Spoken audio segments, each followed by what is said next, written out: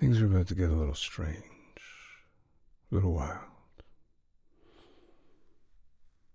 Hang in there. Unputdownable, Chapter 3.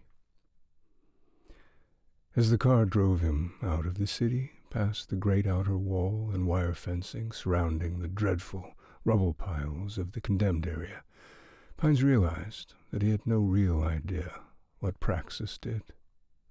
Praxis was the company he was the president of. He had lobbied for the job and even, quite smartly in retrospect, done several underhanded things to earn the position. And yet, after seven years as the reigning signatory, amusingly, what Praxis did exactly eluded him. He knew, of course, that it was an implemented medical technology of some kind, and that whatever this technology was, helped human beings live longer. To the tune of 7%, is what he said at almost every meeting in the necessary colloquial fashion that disturbed his equilibrium. Pines knew all the statistics, the life benefits, remission potentials, side effects, alternate applications, bonus years, etc. But it was only now, leaving the fractiousness of the city's outer rings, in the quiet comfort of his black Stadia 7000, as it wended finely down the long country lane of his estate, that he realized he didn't know what that thing itself was. Was it a pill, a procedure, an implant, a device or machine, software or hardware, diagnostic or applicative? Might it even be, as so many things were nowadays, some simple applied theory? He almost laughed at his own incompetence which almostness for Pines was the same thing as laughter itself.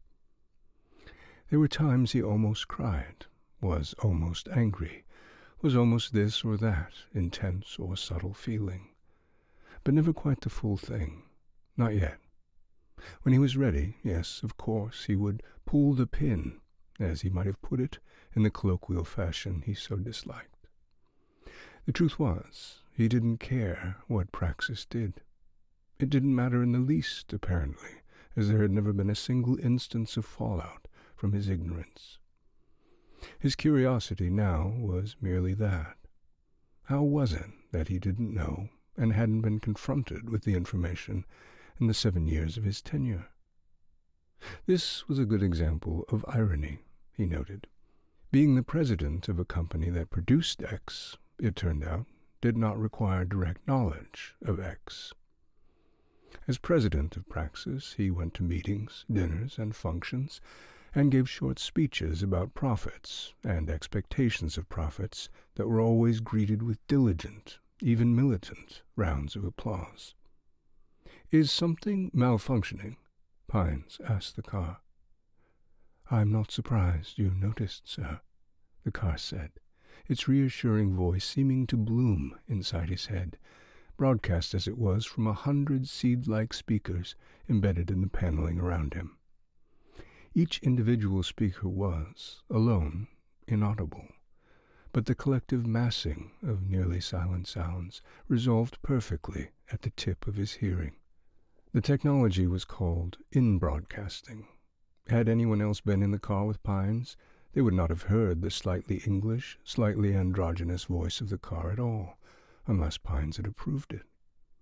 In broadcasting not only created intimacy and bonding between car and owner, but provided absolute privacy. It was also at the forefront of the new shared experience everyone was talking about. Unification, some called it. The coming breakdown of simple identification between self and things. The difference between Pines and his car would soon cease to matter. While rudimentary, in broadcasting was a start, a linkage, a way to begin an acquaintanceship between discrete minds. What's gone wrong? Pines asked. The backseat service interface has malfunctioned, the car said. This accounts for the rather stiff commute home. I generally, constantly reposition and reshape your seat to ensure a maximally sanguine ride.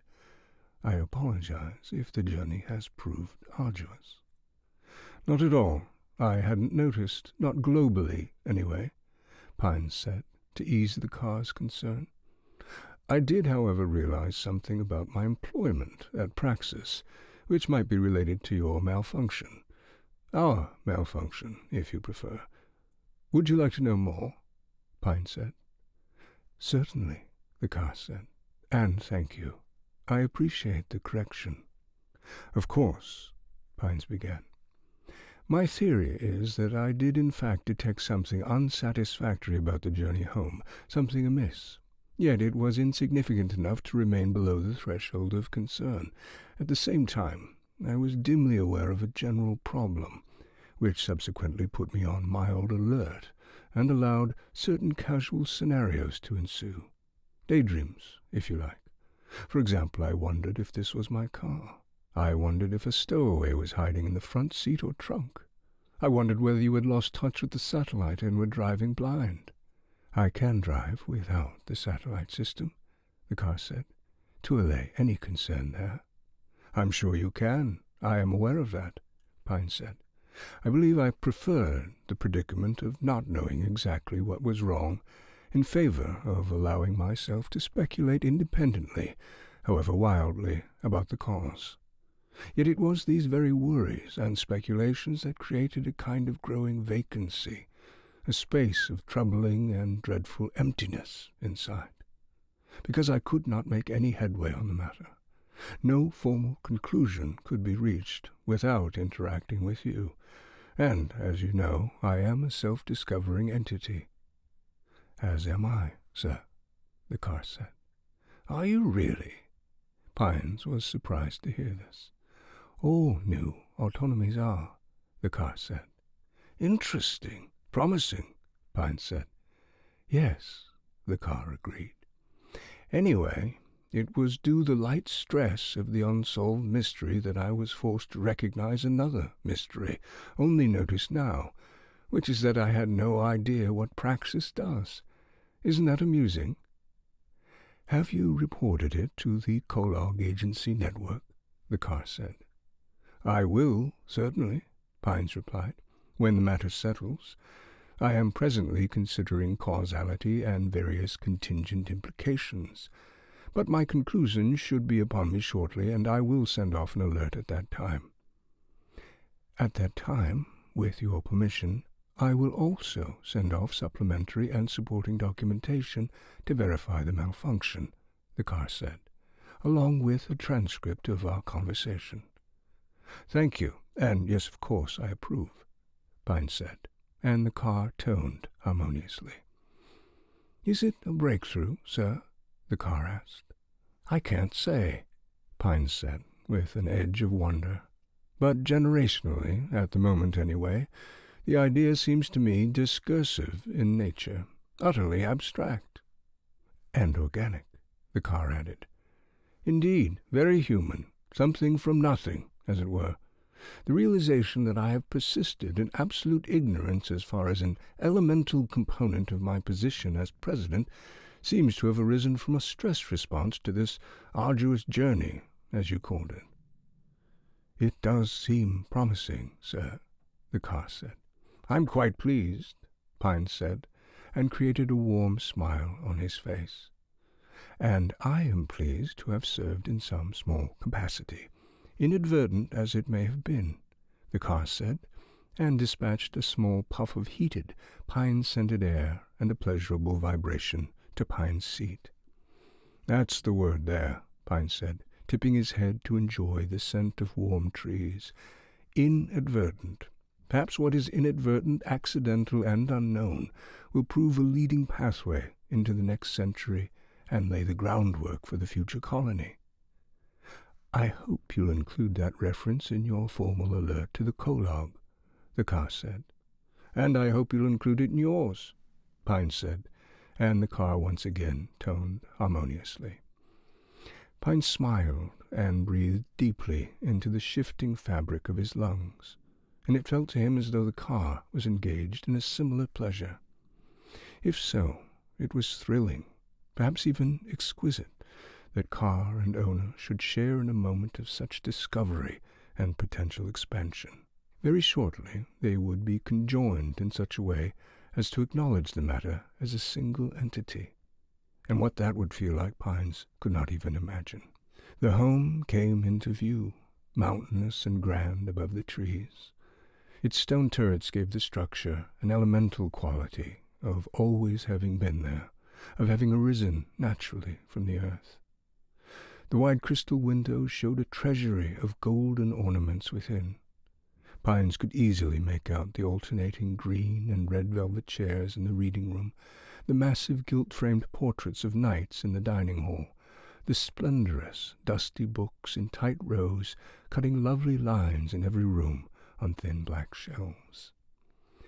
Pines was pleased to see Jenkins standing ready on the lawn at the clean edge of the white gravel courtyard, with a striped bar towel draped over one arm, pure white gloves tucked into black sleeves, and a glass full of red wine at the ready. The car stopped, and both Pines and the car waited to see if Jenkins would make a mistake. The butler stepped forward, opened the door, and bowed. Welcome home, Bill, Jenkins said. Excellent speech at the committee meeting this morning. Thank you, Jenkins, Pine said. I wondered if you'd watched it. I did, of course, the butler said. Twice, sir. Gracious. Well, I can't say I disapprove. Jenkins reached into the car, and Pines took hold of his hand. This remained a mischievous part of his body experience thus far. The getting in and out of things remained an enduringly awkward entanglement of limbs and gravity. Cars, bed, even clothing continued to prove difficult extractions. There was something nearly inverting about such exercises, as though turning one's body inside out would likely best accommodate any needed change of state. Getting into things had been somewhat easier to grasp, but gravity forbade the reversal of procedures in such circumstances. Shoes, Pines found, taking them off anyway, was especially daunting. It remained then a curiosity, a brain teaser, so called, he might put it colloquially, at a meeting on the topic, that getting out of a car or a pair of shoes could not be successfully mirrored by a reversing performance of the getting in. He wondered if body inversion had ever been considered a potential solution by the Kologue. Jenkins, Pine said, as the butler hauled his master from the vehicle, do you know what praxis does, its purpose, and what it produces exactly? Of course, sir, Jenkins said, and with such assurance Pines knew the man did. He considered pressing him, but decided that continuing in ignorance might in fact prove more valuable in the long run, especially if his budding theory on abstraction was ratified to the level of insight by the Kologue. When Pines finally stood safely on the lawn beside him, the butler extended the wine. Glass of Cabernet, sir, Jenkins said. Pines examined the glass uncertainly. Drinking wine on the lawn out of doors besides one's car after a difficult day and arduous commute seemed out of keeping somehow. And yet neither had it ever been proper, in Pine's experience, to reject an offered glass of wine. What a series of tiny conundrums living was. You could drink it as we walk and you unwind from your difficult day, Jenkins suggested. Or you could enjoy the wine in the garden by yourself, if you'd prefer. Hmm, Pine said, and tapped a finger on his chin. He recalled now that he'd given Jenkins the freedom to prompt such discretionary activities that might disrupt his daily routines. Why don't you make this decision for us, Jenkins, and we'll see where we end up, Pine said equably.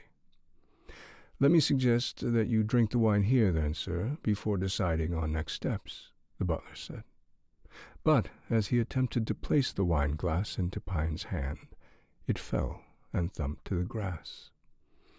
The two watched the mouthful of wine escape into the soil like a wet animal.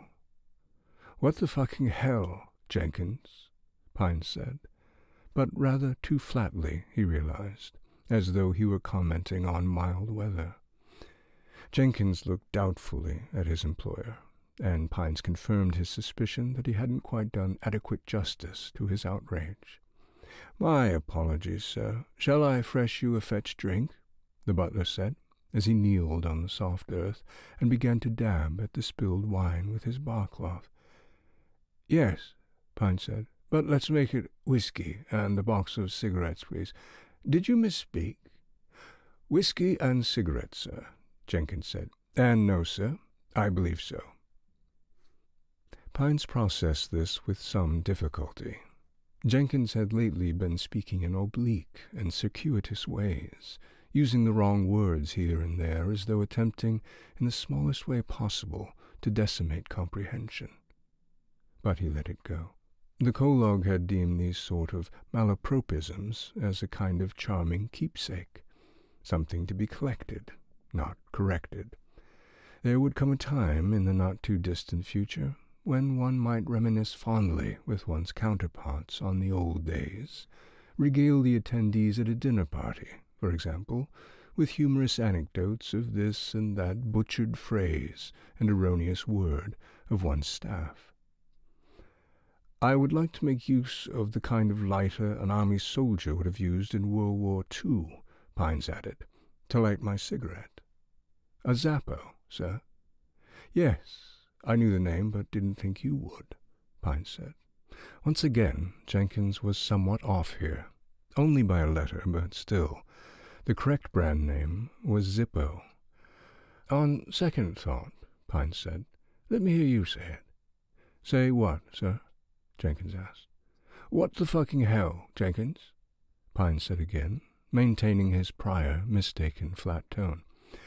Of course, sir, the butler began, and then narrowed his eyes.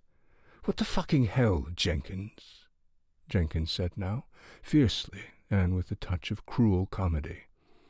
Ah, I see, I see, Pine said, a downturn of the mouth and a flaring and side look of the eyes as though addressing both the blunderer and one's witnessing colleagues.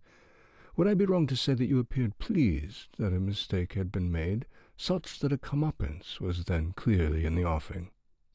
Exactly, sir, Jenkins said. Very, very good, Pine said, and pointed what he believed to be a kindly finger at his butler. Your being a very fine actor on the light of dawn has proved quite helpful to me, Jenkins. Thank you, sir, although I was no Olivier, more a kind of clown. Pines tisked at the too casual dismissal. Oh, no, sir, Jenkins continued. It's a fair assessment. The Light of Dawn was a silly soap opera, a waste of time, really. Poorly written, but fun. Yet it was true that we actors had to do most of the heavy lifting laughing too hard or with evil malice, staring vindictively at enemies and wide-eyed and always lustily at women. It was a lot of pulling faces, as we called it in the trade. But I do think those kinds of exaggerated expressions learned in my former occupation do help us both now, sir, as I can better acquaint you with subtlety and nuance, however conveyed by excessively strong performance. Well said, Jenkins, Pine said, and Jenkins strode dutifully off to the house to fetch the wanted items of vice. Malapropisms aside, it troubled Pines faintly, as the malfunction in the car had troubled him, that Jenkins employed a tone of speaking, and even a vocabulary, that seemed to rival, even mimic, his own. Then again the man had once been an actor, and imitation was a form not only of flattery, but subservience, Pines knew. Perhaps Jenkins had simply found an organic way to keep his talent and fond memories of his life as an actor alive.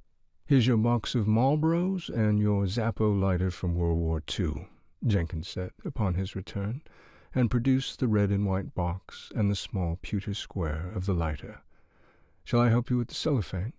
No, no, Pine said quietly, as he spun the box like a small puzzle toy in his hand. I believe I can remove the cellophane from a Marlboro box faster than you can nowadays, Jenkins.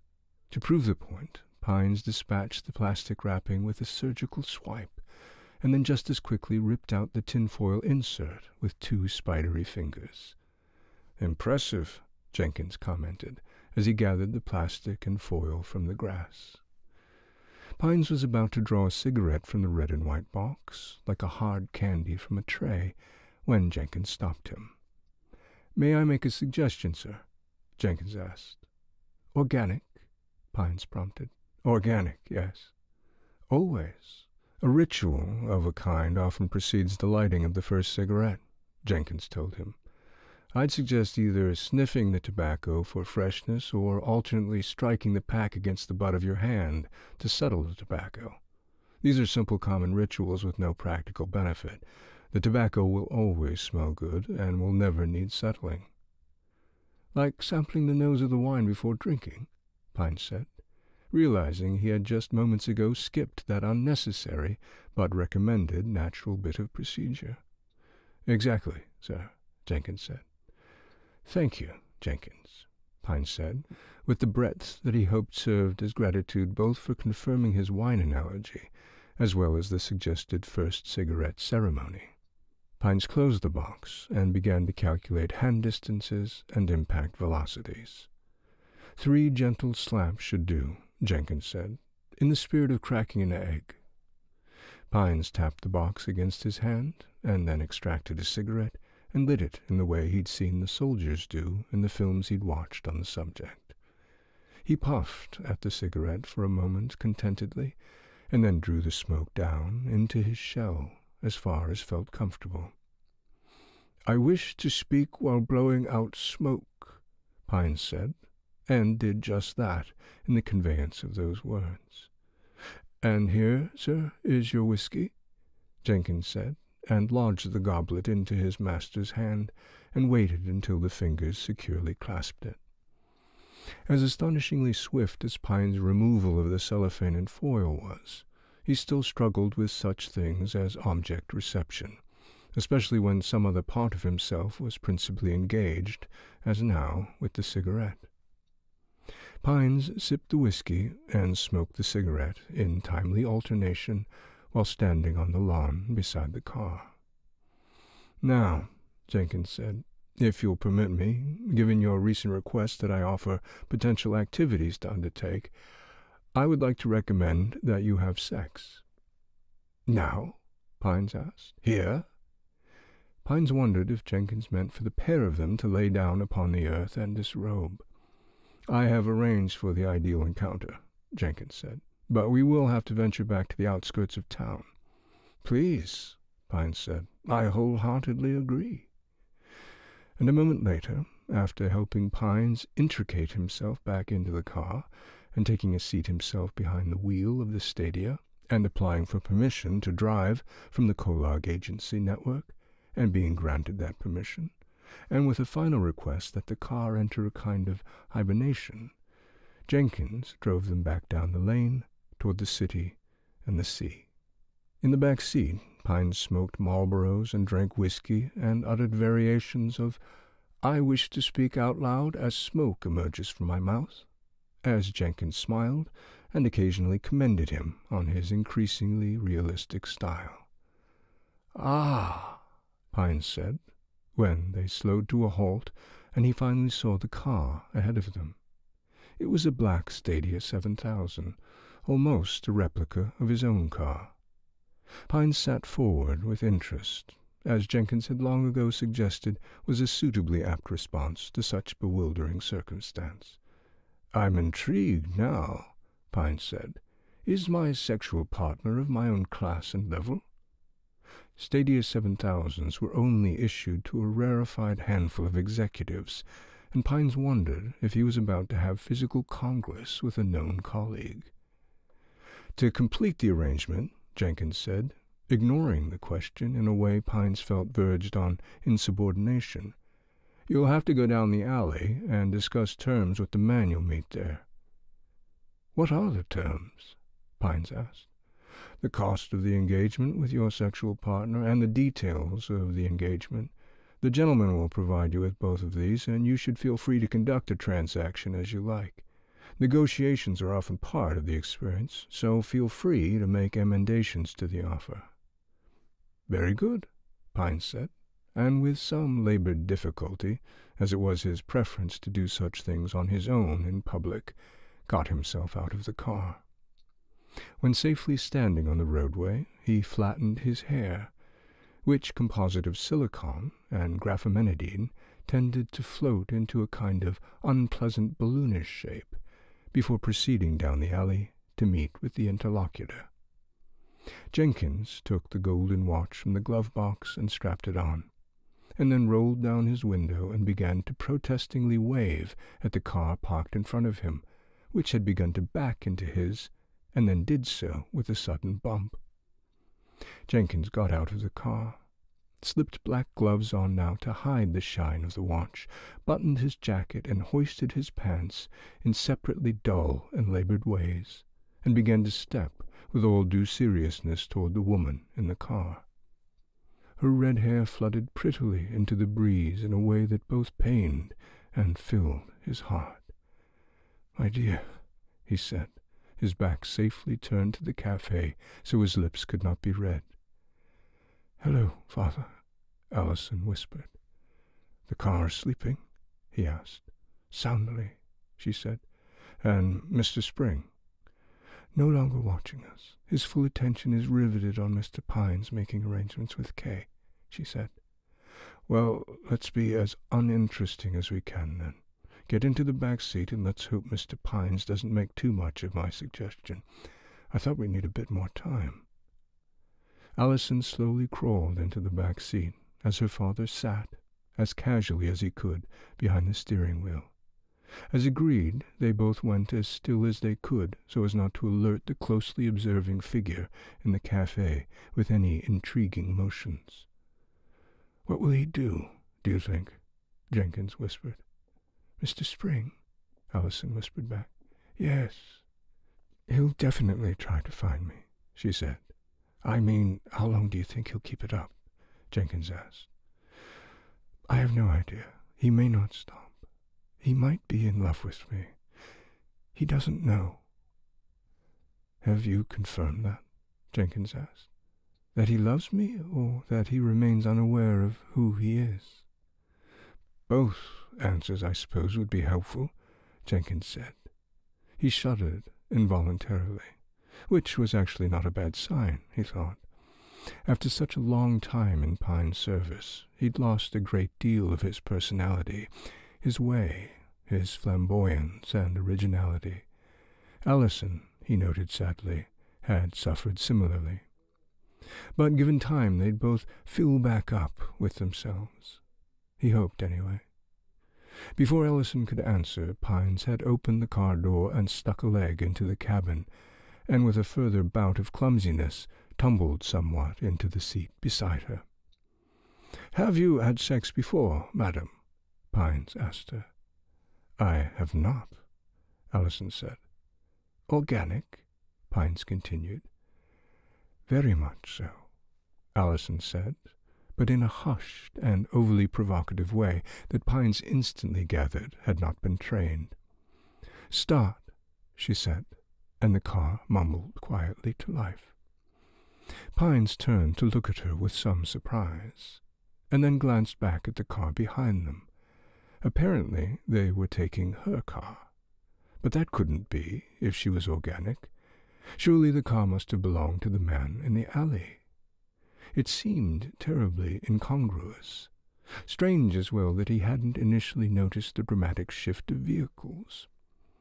He was about to ask Jenkins about these anomalies, but as Allison's hand settled on his leg, he decided to let such questions reside for some time undisturbed in the abeyance of his mind.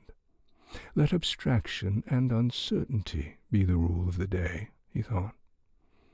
As the car pulled forward, Allison turned toward the cafe to regard Mr. Spring. Her former employer, she hoped, soon to be her pursuer in all likelihood. But if she could send him spinning off in the wrong direction, at least here at the start of his quest and their escape, Perhaps that would give them time to get away. Yet inside, she felt a small part of herself falling into grief. She would, odd as it was, miss him. And she hadn't realized it until now, but she didn't like the idea of never seeing him again. But that was essentially the point. To get away from their captors, as her father described them. How they would do this and where they were going, she had no idea. Her father had only confirmed that he had some special further knowledge, knew a secret that, until they were safe, he could not share with her. She waited until she saw Richard's gentle, always wondering and now painfully worried eyes fix on hers, and she mouthed the words, Follow Kay, and to herself bid the man, or whatever he truly was, a sad, a fond, even a loving farewell.